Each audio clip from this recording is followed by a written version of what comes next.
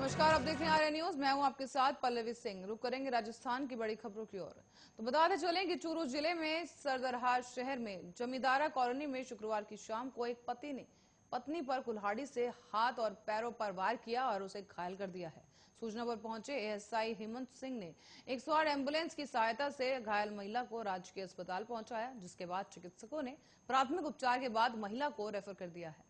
बताते चले कि एसआई हेमंत ने बताया है कि वार्ड 18 जमींदारा कॉलोनी निवासी महिला को उसके पति ने घायल कर दिया, जिसके बाद बताया जा रहा है कि 10 साल पहले उसकी शादी श्यामलाल के साथ हुई थी। उसका पति और उसकी सास विमला देवी घरेलू बातों को लेकर उसके साथ लगातार मारपीट किया करते थे। लगभग पंद्रह से बीस दिन पहले भी मारपीट से परेशान होकर वो अपने पीहर चली गई थी, जिसके बाद करीब दस दिन पहले पति उसे जाकर मायके से ले आया था। इसके बाद पिता को मारपीट न करने का भरोसा दिलाकर उसे वापस लाया गया।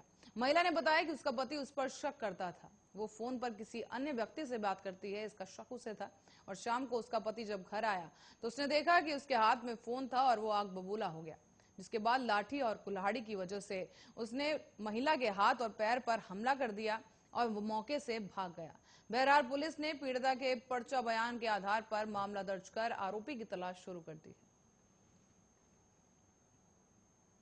और जयपुर में पेट्रोल और डीजल की कीमतों में बढ़ोतरी का सिलसिला लगातार जारी है। शनिवार को एक बार फिर से पेट्रोल और डीजल की कीमतों में बढ़ोतरी देखने को मिली। पेट्रोल 36 पैसे प्रति लीटर, जबकि डीजल 38 पैसे प्रति लीटर महँगा हो गया है। जिसके बाद अब प्रदेश में पेट्रोल की कीमत एक सौ पैसे प्रति लीटर हो गई, जबकि डीजल की कीमत एक रूपए अठासी पैसे प्रति लीटर पहुँच गई है। बीते बीस दिनों की बात की जाए तो पेट्रोल तकरीबन चार रूपए पचास पैसे प्रति लीटर महँगा हो चुका है। तो वहीं डीजल की कीमतों में तकरीबन चार रूपए सत्तर पैसे की बढ़ोतरी देखने को मिली। अक्टूबर महीने में भी पेट्रोल और डीजल की कीमतों में बढ़ोतरी का सिलसिला लगातार जारी है। इस महीने की बात की जाए तो करीब तेरह बार तेल के दामों में बढ़ोतरी की जा चुकी है। अक्टूबर में अब तक पेट्रोल पर तीन रूपए सतहत्तर पैसे की बढ़ोतरी हुई। तो वहीं डीजल की बात की जाए तो करीब चार रूपए अड़तीस पैसे की बढ़ोतरी अब तक की जा चुकी है।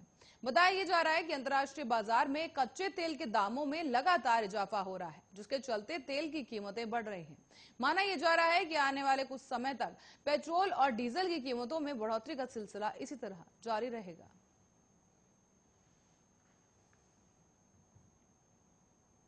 और जयपुर के आदर्श नगर थाना इलाके में 13 अक्टूबर की देर रात को ओसवाल ग्रुप के वीरेंद्र जैन ओसवाल के घर में दो नौकरों को बेहोश कर लूट की वारदात को अंजाम दिया गया। इस दौरान अंजाम देने वाली गैंग की तलाश में लगी पुलिस लगातार दबिश दे रही है, साथ ही बदमाशों का सुराग ढूँढने के लिए पुलिस अब तक तकरीबन 1000 सीसीटीवी कैमरों की फुटेज खंगाल चुकी है।